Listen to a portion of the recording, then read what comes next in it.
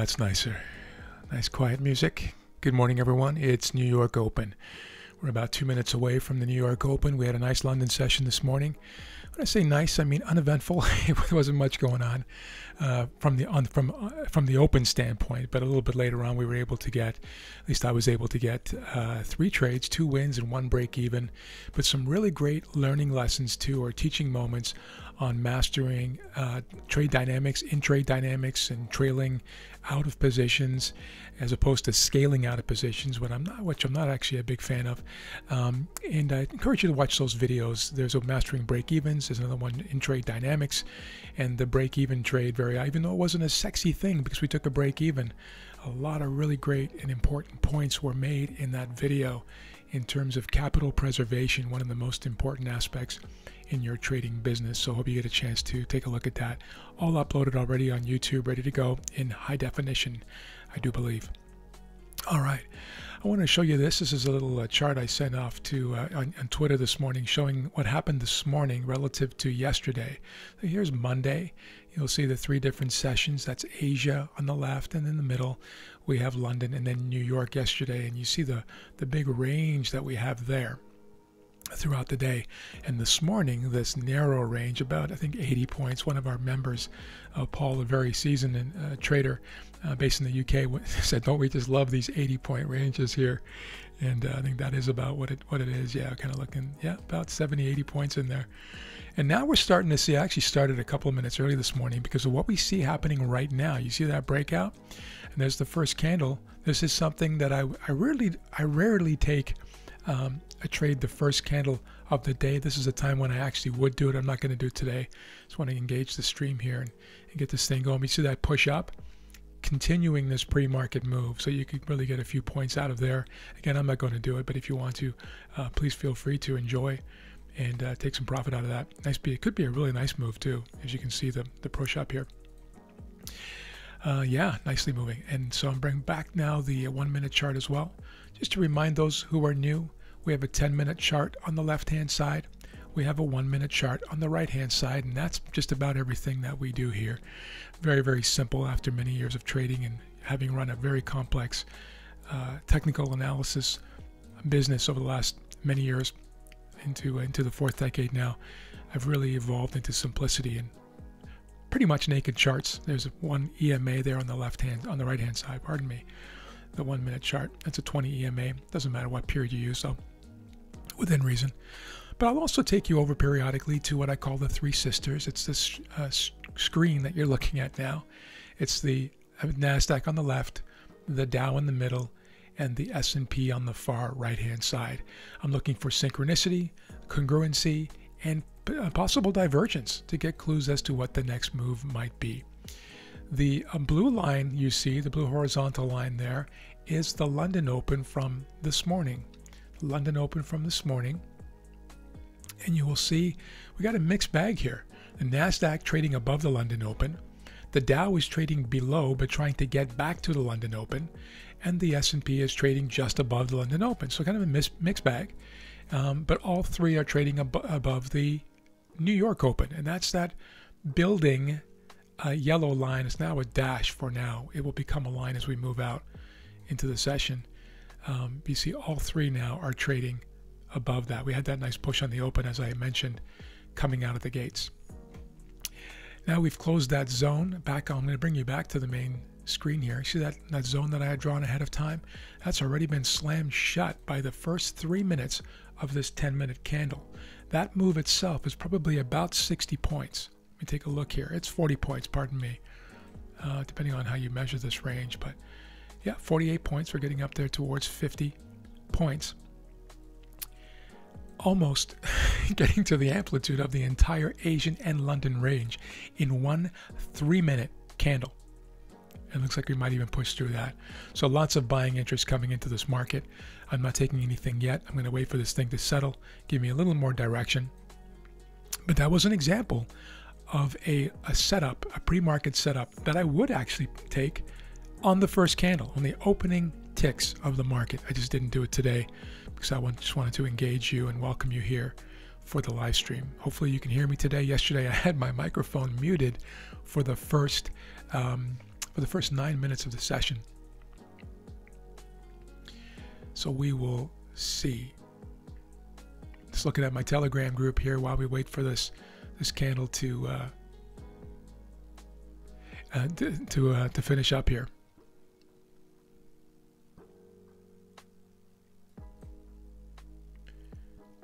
See some people on our Telegram are taking positions here right there in the open, and I think they're probably doing fairly well too if you're on the right side of this. It's nice to see.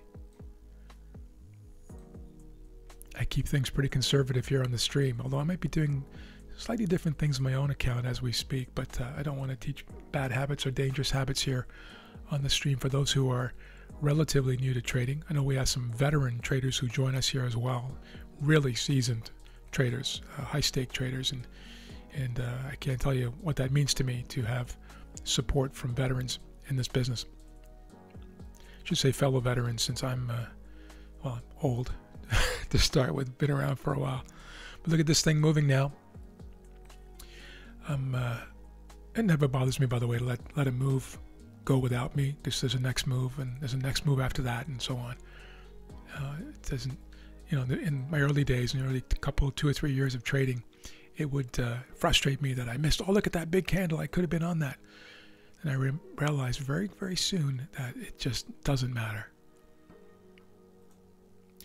What I really don't want to move, uh, miss is a is a big uh, position trade opportunity. In other words, a bull market in stocks. If you miss out on that, that's a life-changing uh, miss, right? This is not. We're scalping. We're day trading. There'll be another day trade around in the next few minutes for the next few hours lately, since it's been so range bound, it was agonizing for me, at least, and for many of us uh, who, who day trade for during the London session. But we were able to pull out those two wins and one break even. And the one break even actually almost hit target, but uh, managed that to preserve capital. Again, that video I think is worth watching. Um, Mastering the break even trade, I think it's called. Getting a pullback now in the one minute chart. Nice and orderly. That's what I like to see. Notice how that wick pierced the top of that resistance zone, right? We had drawn off over here on the left hand side. Nailed a couple of stops and now it's pulling back. We could see this entire thing reverse. We actually don't know if this is going to be an up day. This could be a down day and a trending day for that matter.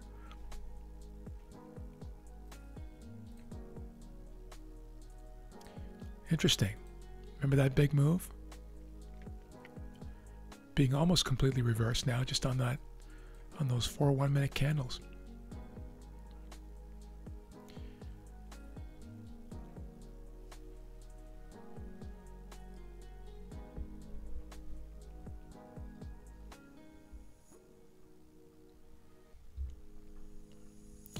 If you're joining me live, I do hope my microphone is unmuted. It seems to be according to my settings.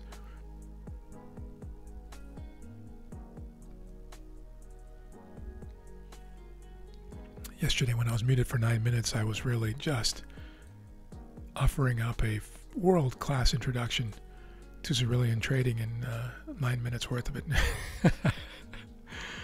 That's my own review, of course, because I can't prove it because I was on mute, but. All right, still waiting here. We got two and a half, well, called three minutes left in this first candle. Lots happening in that candle. The internals of that thing are quite uh, quite interesting.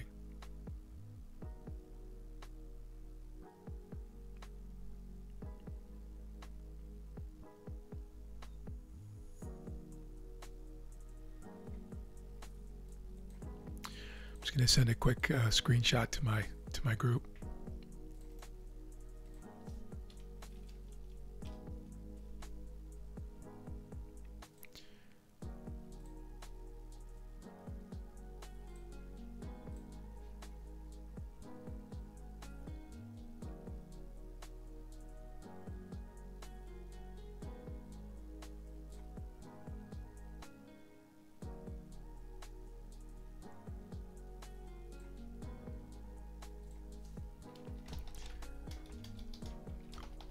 One of our members just said, This place is much better than Twitter, by the way.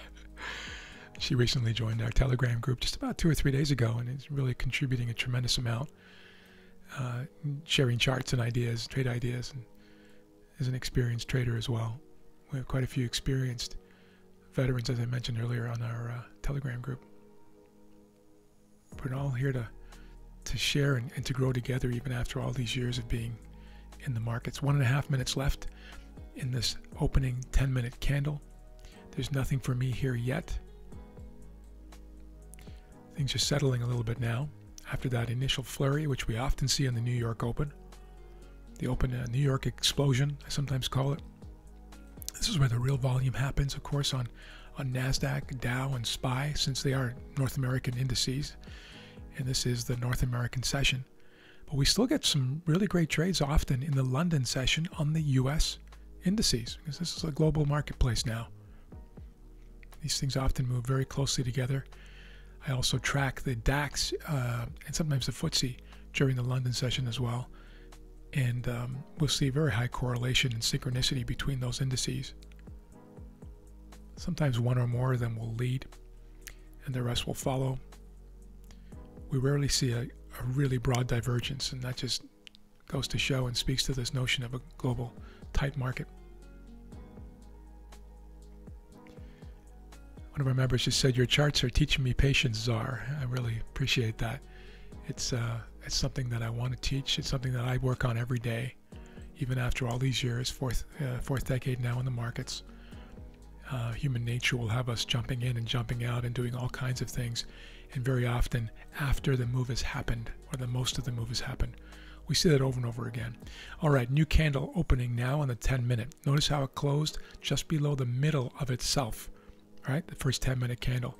So reversing more than 50% of that initial flurry, that impulse move into that resistance zone. Notice how that resistance zone that I had drawn before coming on did in fact act as a rejection point. And we see this happen all morning too in um, in, uh, in the London session and before that in the in the Asian session. There's something very powerful about above uh, about uh, support and resistance. It's a simple, simple thing, but it's incredible.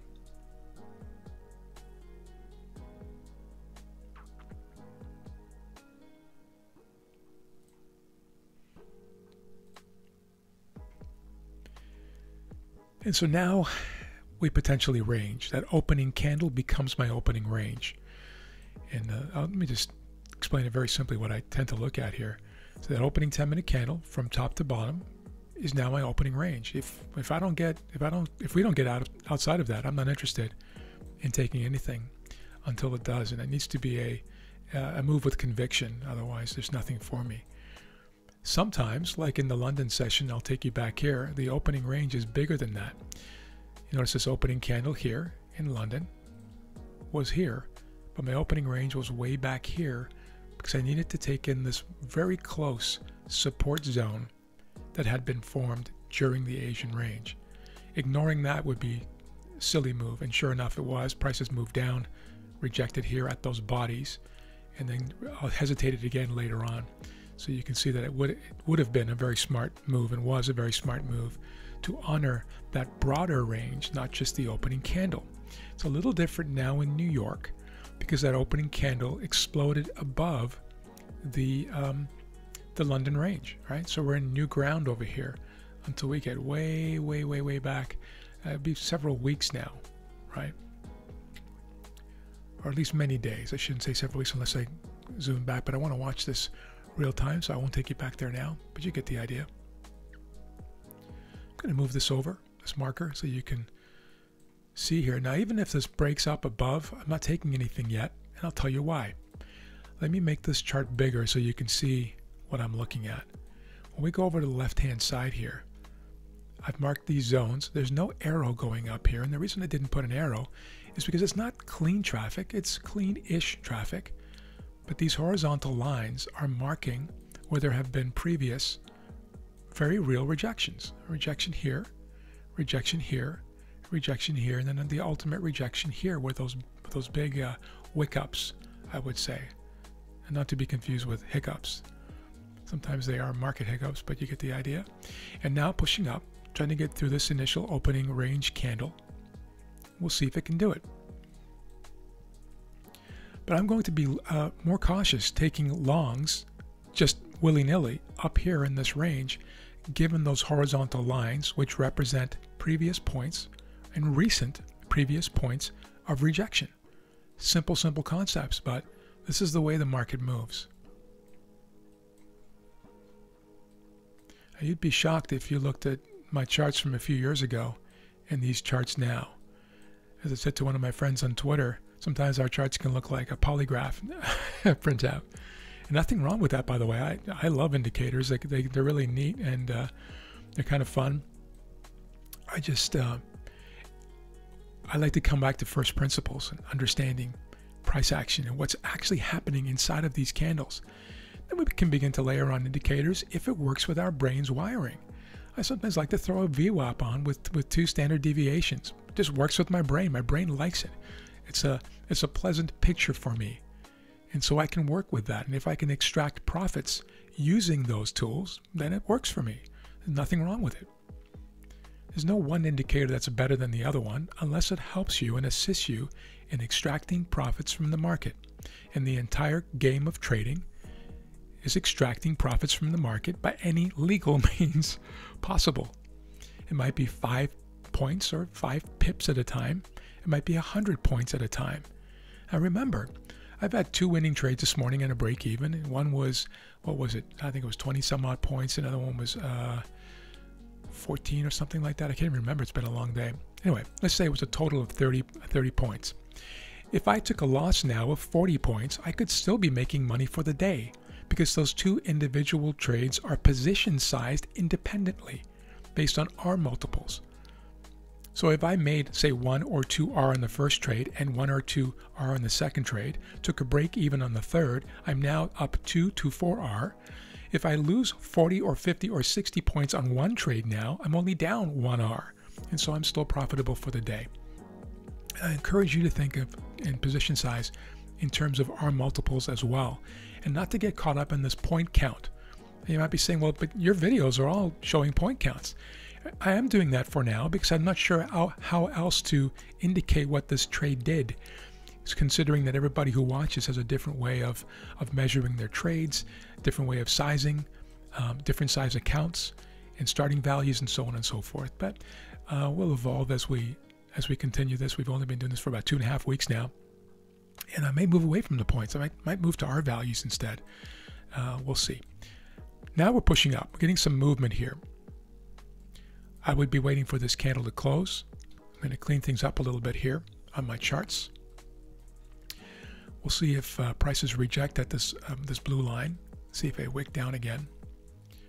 But it certainly looks like the bulls are very much in charge now in the New York session. Took a little breather here on the one minute as we pulled back to the 20.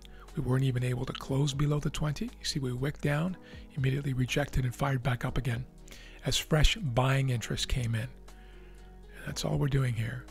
We're riding or surfing the waves of buying and selling interest and pressure. The path of least resistance, as you can see, is up.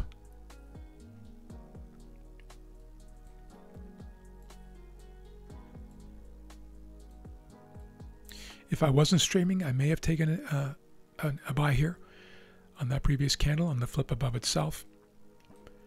But I think this is a good kind of watching and talking about what's happening here as it unfolds. Interesting open for the first time in, in quite a few days. Lots of nice momentum now. And pretty clean after that first candle. That first candle was was was kind of uh, you know bipolar a little bit there. Now we're getting a lot of buying interest. So too late for me to enter here. Let's wait for an orderly pullback and see if we can get something.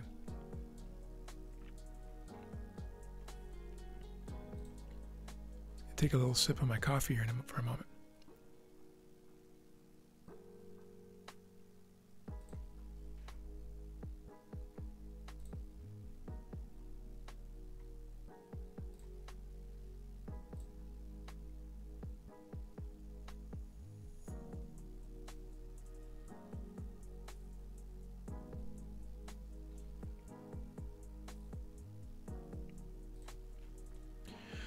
So there, there were reasons for, for some trading methodologies to be absolutely be in on this. on this uh, long. It's just uh, not my type of an entry.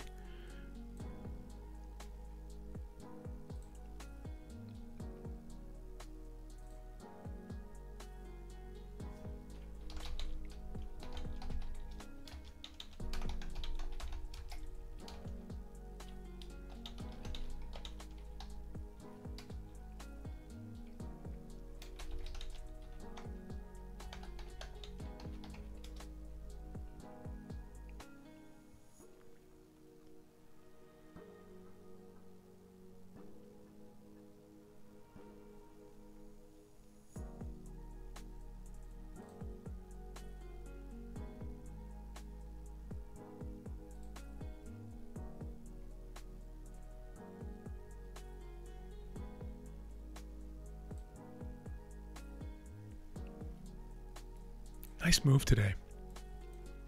Nice move.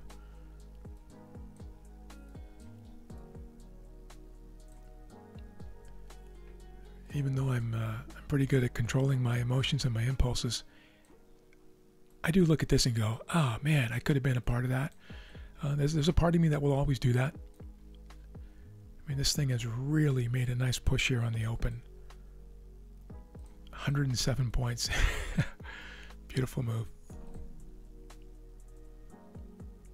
These moves have been so untrustworthy in the last few sessions that uh, I'm looking for that most certain move. And of course, after the fact, this was a certain move. we can't trade on that basis. But for those of you, now we're into the, the uh, third candle. I need a wick down to even consider taking this move. And given the extension, I may even just pass on that one and wait for the reversal trade instead which we'll cover off uh, either here live or on uh, on the Telegram group. Getting a push down here now. You'll see this thing just blowing through those rejection horizontal lines that I drew. But now we're in between two of them. All right, let's see if this thing drops back or if it can actually push up to that next that next zone. We'll see here.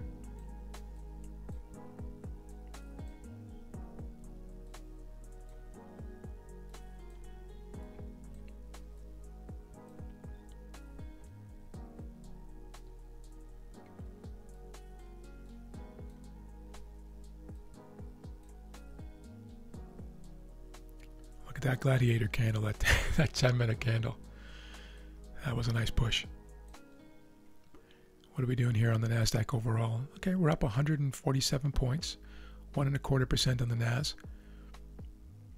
The um, the Dow, the Dow is up. They're basically flat, only up 54 points, 0.16 percent, and the um, a little bit higher on the on the E-minis, the on the S&P, up uh, three quarters of a point, three quarters of a percentage, but one and a quarter on the NASDAQ. So NASDAQ very much leading the charge here in the futures market at the very least.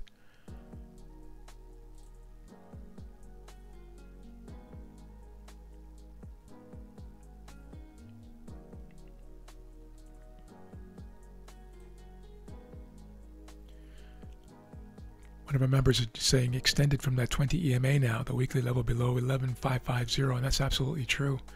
See how we pushed away from this uh, 20 EMA on the one minute at the very least. Uh, I am not sure if, if our friend, uh, if, if Damien's, Damien's looking at the, the, the one minute chart on this, but uh, very much extended away.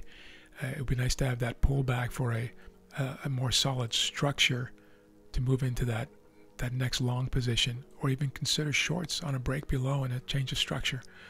We will see, but that's a great point by one of the members of our Telegram.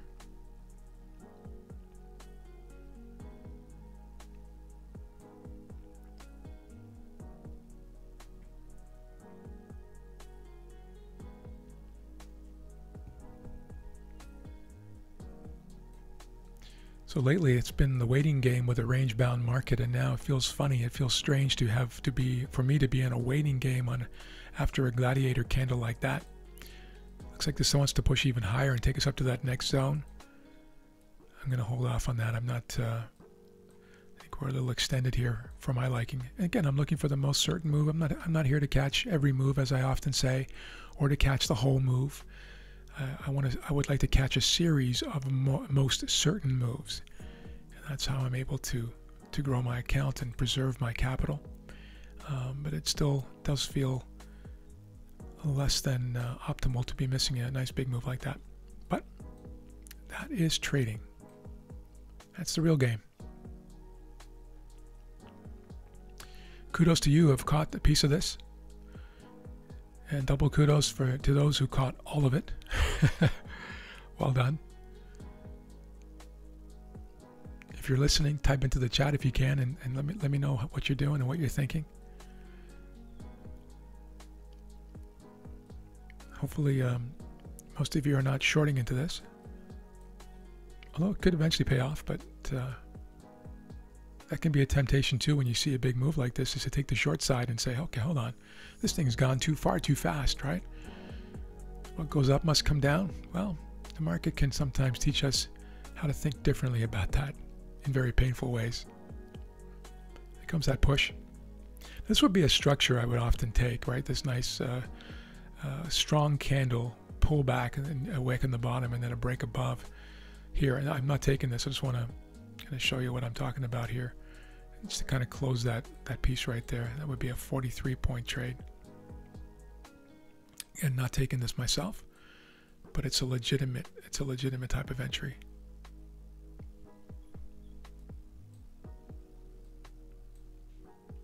If you trust the momentum move here, and there's no reason not to.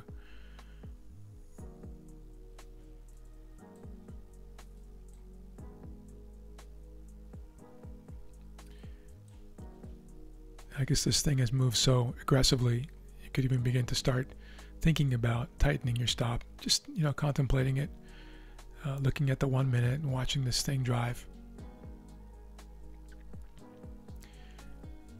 You may consider moving the stop up to this position here under the second last candle on the one minute.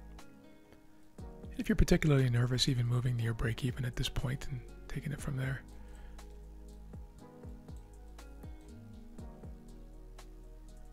If you're very nervous, you could be moving out now for a good 10, 12, 15, 15 point profit. Just be, be done with it.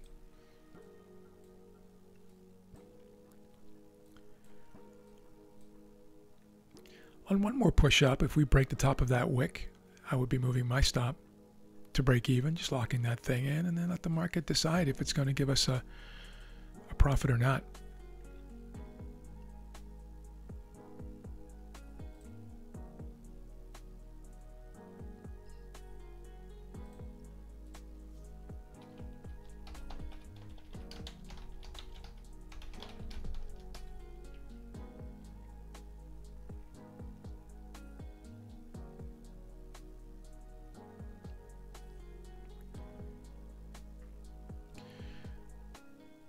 Great sharing on the Telegram group, guys. Appreciate that. Share your charts and and uh, and clear ideas, your clear thoughts, detailed thoughts as to what you're thinking, what you're doing. Ideally, uh, prior to um, the trade playing out, that's the way we can we can all learn together.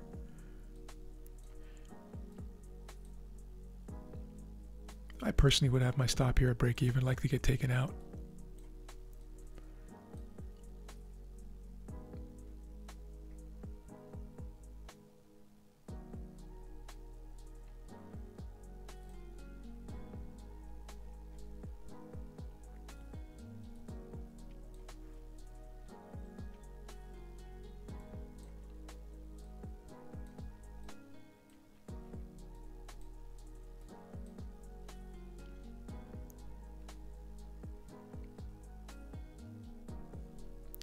I always say a very high chance of being taken out of break even. I'm okay with that. I take uh, break evens often.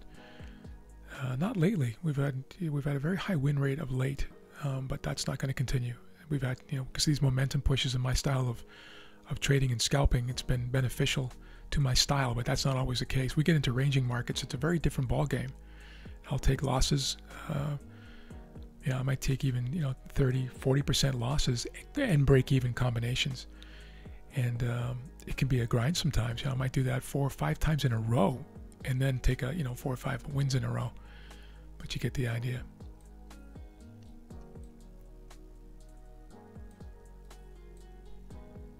Okay, so I would have been stopped out here at break even on this one. I didn't take this trade, as I mentioned, hopefully very clearly. I didn't take that one. It's an extended move, and this whole idea of the extension beyond the 20 EMA is not really an ideal setup for me. That earlier one that I mentioned, that under normal circumstances I may in fact take, you've probably seen me take it on the stream before, is this one here, this pullback to the 20, the wick down, and then um, the body closing above, and then the flip of the candle. That's kind of the, the trade I like to take. And you see me do it over and over again if you've watched my videos or if you've joined us in the live streams, right? This is what we do. Um, but this latter move, this later move here, that's a purely momentum continuation play. And it's not, uh, not something I will often do. My trades are typically structure and, um, and uh, breakup ba uh, based. In other words, the structure being, for instance, that, that uh, orderly pullback towards the 20 EMA. Again, doesn't have to be 20, but whatever EMA you're using, it's that relative deviation and then reconciliation of that deviation uh, based on um, prior movement in the session, right? Hopefully that makes sense. If it doesn't, we'll clarify. You can ask me questions in our Telegram group or here on chat and uh, give you some more detail on that.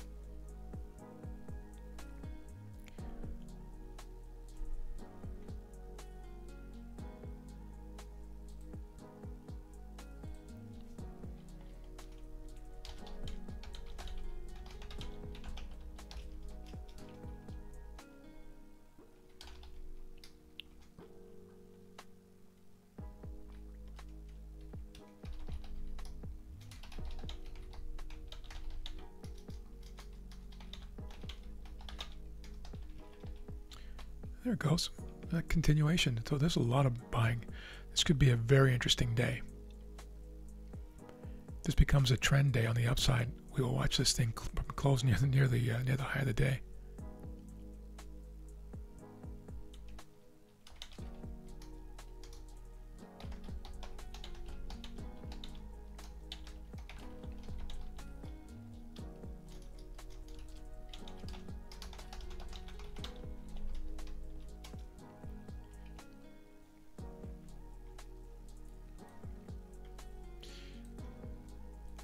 Rejection again at that, um, remember that blue line we drew? The reason we did that was because of that resistance far over to the left, right?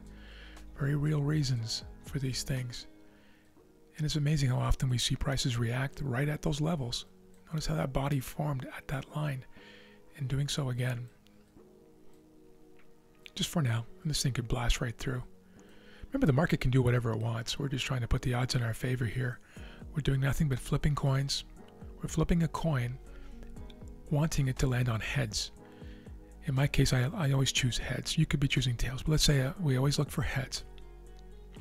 And what we've done by having a methodology or a system in place is to create a slight edge over time, not in any given one trade, but over time we have a slight edge so that that coin is slightly weighted to land on heads. And we just flip it over and over again, applying the system or the edge and over time, that coin's going to land more often on heads. And when it does land on tails, we have another method that reduces the amount that we lose when it lands on tails or minimizes it. And that's what we do with dynamic uh, edge shifting, like I showed in the two videos this morning. It's what we do with, with uh, trailing out, for instance, and things like moving to break even, right? So hopefully that makes sense. And at that point, it's a mathematical game.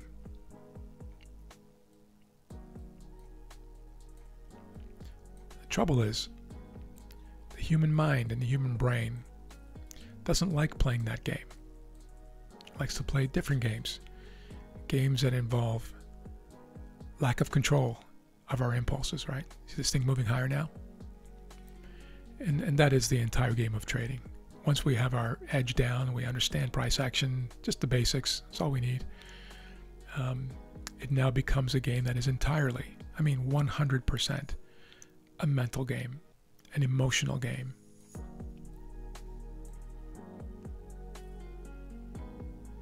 And that will be very hard for for newer and younger traders to uh, to understand or even believe. They become very cynical and skeptical of that notion.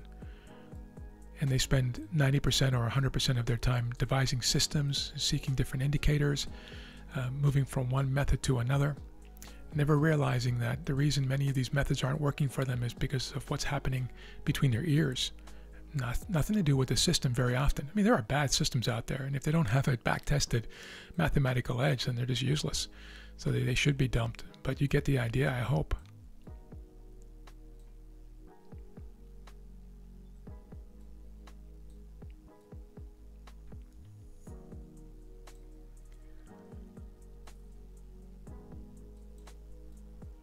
All right, this momentum is waning now just a little bit here. I'm going to uh, reset this chart so we can get more perspective and look at that. So this move actually started in the London session. The pre-market participants were gearing up to do this big buying up campaign and nailed it before. And that's why I started the stream a little bit earlier. I had a sense that this momentum push was going to continue. And I sent that to my um, to my Telegram group. This is going to be a very interesting uh, New York Open. Uh, but I also, I did tell my group that I'm going to stay out of it until the, until the dust settles on the explosion. But there's the uh, there's the explosion. There's the explosion that we're seeing right now, and uh, not a part of it on my on my on my point on my uh, side here.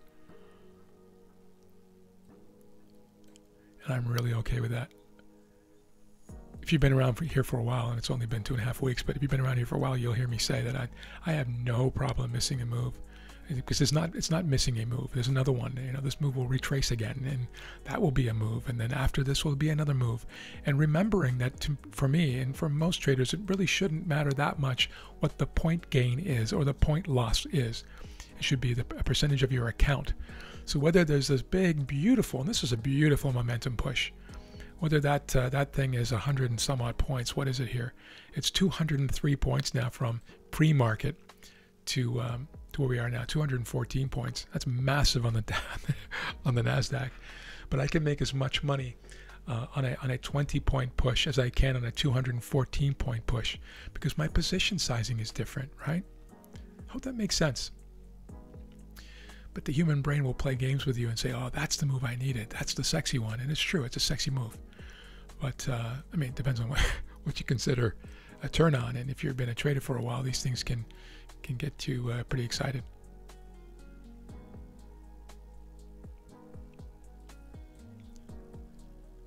All right, we're half an hour into this now, or 36 minutes actually into the session. And given what's already happened, uh, and if you know, if you know my style of trading, I, am probably not going to take a trade in the next 10 or 20 minutes. So I don't want to keep you uh, here on the live stream we've had a good chat this morning, even though there was not a sexy trade for me. I'm sure you guys maybe participated in some wonderful uh, opportunities here because there are different styles, right? And there are styles that will take advantage of this and do exceptionally well. But I wouldn't even, I personally wouldn't be taking a reversal here either until there's more structure in, pra- uh, in place and then a technical breakdown of that structure. And that will take a few candles to form. And so I won't keep you on here for that. I think we've had a good chat this morning. I want to thank you for joining me here live. I wish you a fantastic rest of the day, and I hope we can see you in London tomorrow for the London Open live stream, or a little bit later on today, uh, or New York tomorrow as well, as we have met here today. Thanks for your time, guys. Wishing you again that wonderful day, and we will talk soon.